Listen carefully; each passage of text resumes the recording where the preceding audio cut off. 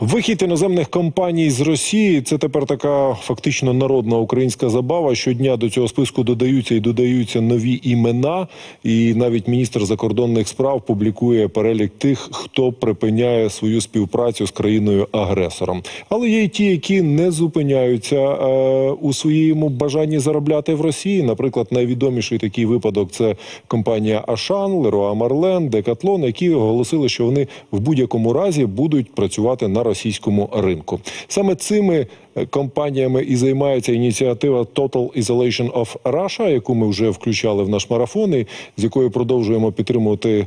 Інформаційні стосунки зараз з нами на зв'язку Денис Довгополе. Він підприємець, інвестор і також один з активістів цієї компанії. Денисе, вітаю. Добрий, добрий ранок. Доброго ранку, Денис. Зараз в українських соцмережах набуває популярності заклик бойкотувати в Україні Ашан, не ходити туди скуповуватися і оці інші французькі магазини.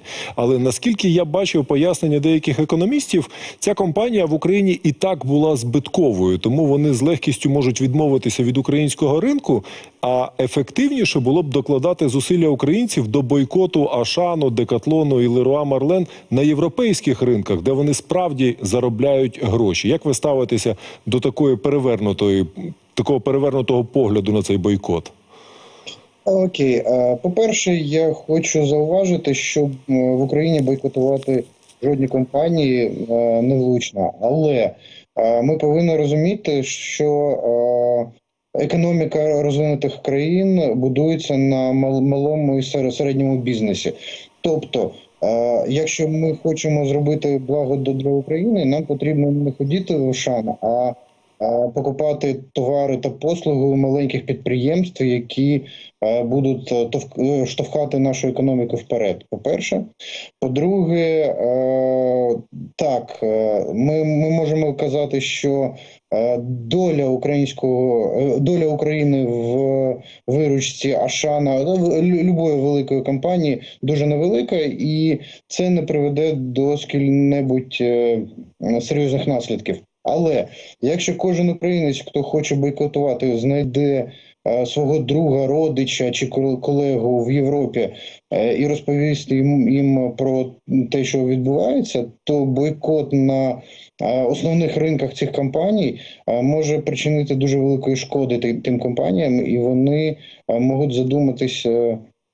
Наскільки їм важно бути в Росії, і який це дамач, як українською мовою буде Ну Е, ну, збиток, це стільки. збиток так. ну. збиток в глобальному масштабі.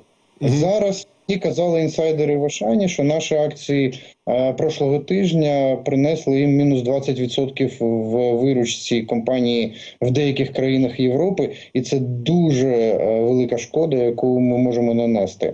А й- коли ц- ці збитки будуть більш ніж прибуток чи виручка в Росії, вони задумаються. Але над цим потрібно працювати. За моїми даними, е, е, на прошлому тижні е, біля 200 шанів Європи було пікетовано, і це була дуже потужна акція, підтримана нашим МЗС. І ми будемо планувати на наступну суботу. Субота це традиційний день закупки продуктів для європейських сімей. О, то люди, які дивляться нас, можуть долучатися. До суботи є час підготуватися і навіть якийсь плакат зробити про криваві гроші Ашано. Денисе, ще одне запитання: а які інші компанії поки що відмовляються, чи навпаки, можливо, оголосили, що виходять, але не поспішають реалізувати це на практиці? На кого треба фокус наводити? Е, Фокус потрібно наводити на одну компанію. Якщо ми говоримо, говоримо про фокус, то е, це фокус.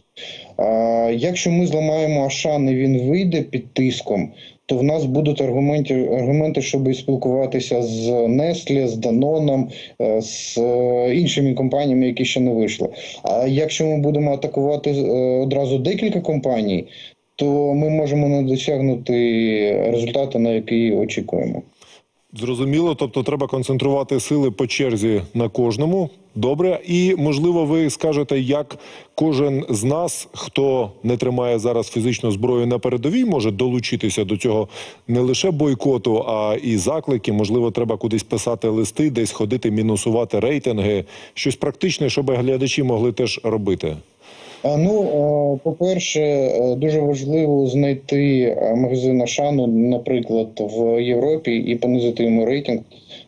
Це працює. По-друге, е, як е, писати листи зараз вже немає сенсу, бо ми писали е, чотири тижні, і це не це не спрацювало. Це працює. Якщо це працює, це працює десь за два дні, за три дні. Зараз е, е, ми проводимо тиск десь три тижні. Писати вже можна написати. Але якщо ви знайдете родича, знайомого чи колегу в Європі і е, запропонуєте йому не закупатися в Ашані і агітувати своїх друзів робити теж, це, це дуже допоможе. Прекрасні практичні поради. Раджу нашим глядачам брати їх на озброєння і теж вести оцю боротьбу. Дякую, Денисе. Денис Довгополе, підприємець та інвестор, один з представників ініціативи «Сто- Total Isolation of Russia, був в ефірі. А ми продовжимо наш марафон.